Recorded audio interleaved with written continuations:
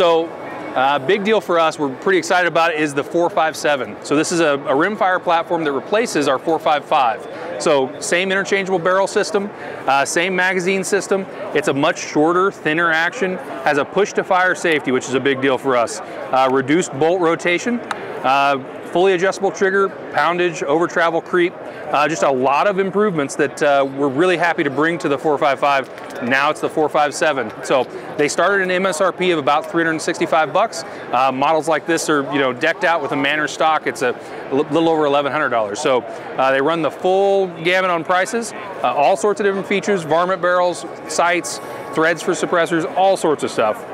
And then next up is our 1012 semi-auto. So this is a new gasless semi-automatic shotgun for us. Um, this is a uh, 12 gauge, three inch gun. Uh, MSRP start on this in the mid sixes.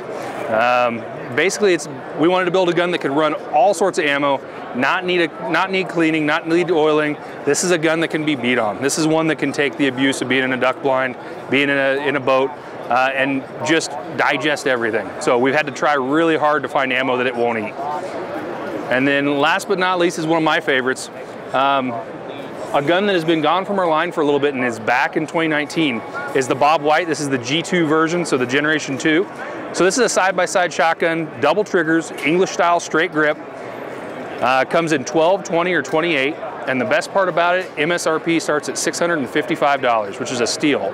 So if you want any information on any of the shotguns, long guns, uh, pistols that we're bringing out here at SHOT Show 2019, head over to cz-usa.com. Uh, find us on social media at CZUSA Firearms.